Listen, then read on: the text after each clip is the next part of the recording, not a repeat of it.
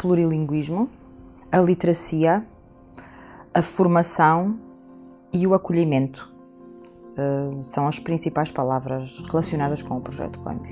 Coinos és un projecte europeu que ens dona l'oportunitat de que institucions de diferents ciutats europees puguin treballar plegats sobre temes rellevants en el context actual. En aquest cas és el repte de l'educació plurilingüe i la diversitat cultural. El projecte Coinos eh, es fonamenta en un procés de, de recerca i d'acció. No hi ha processos de millora si no són processos fonamentats en la reflexió i no hi ha processos reflexius que siguin vàlids si no tenen repercussió en allò que succeeix a les aules. En el projecte Coinos han participat diversos agents, els mestres, tècnics, equips de recerca, altres agents dels territoris com les biblioteques, les famílies, i on s'ha intentat fomentar la participació de la comunitat educativa. El projecte Coinos ens ha portat coneixement, ens ha portat emoció i ens ha portat pues, a establir connexions no? amb altres realitats diferents a la nostra, però que en realitat són molt similars també. No? Si, si estimem i apreciem i coneixem bé la nostra llengua i el nostre origen, és a partir d'aquí que podem obrir-nos a una altra llengua, a un altre origen. Per poder no sé, tolerar, apreciar, conviure, eh, és necessari començar a l'escola amb, amb, amb aquesta convivència, no?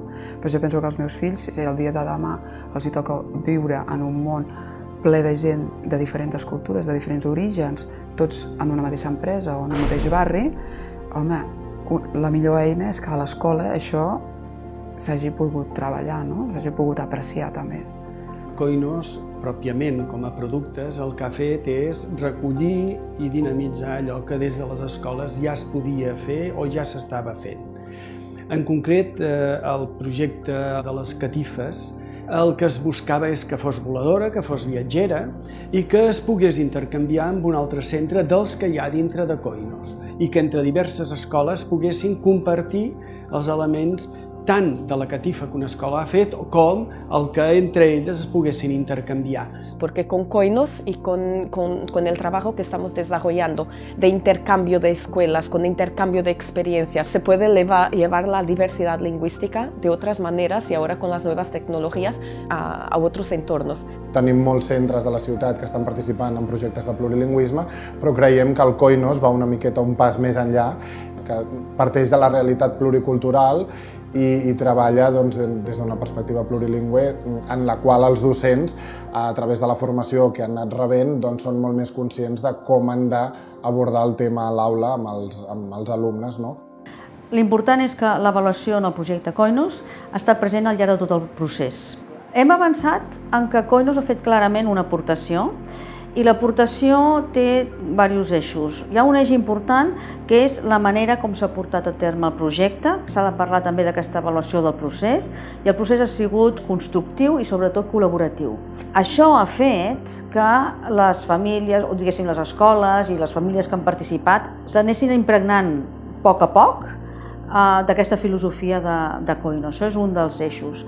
L'altre eix és que justament també s'ha vist com la gent que ha participat ha anat com replantejant les seves pràctiques educatives més orientades cap al plurilingüisme. Um, hi ha evidències que ha hagut un replantejament d'aquestes pràctiques, hi ha evidències que hi ha una reorientació fins i tot una reconceptualització, que havia gent que pensava que plurilingüisme significava una cosa i arran de tot el treball en Coinos, ara ho veu d'una manera molt més oberta i li dona més importància a alguns aspectes que abans no es donava.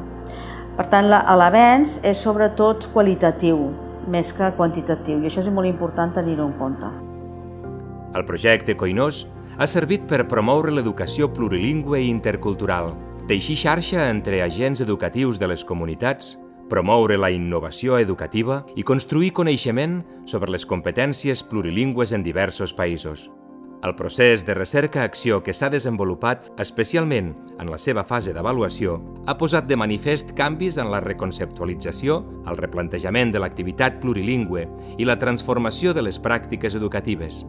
Malgrat aquests avenços, avui dia encara hi ha reptes importants associats a la consolidació dels processos iniciats i l'autonomia dels agents participants. Així, Coinós ha contribuït a avançar en l'educació plurilingüe, al mateix temps que posa a disposició de les comunitats educatives diverses aportacions que a través del seu portal web i d'una manera didàctica ofereixen la possibilitat de continuar avançant en totes aquestes qüestions, per tal que les societats europees esdevinguin més inclusives, democràtiques i interculturals.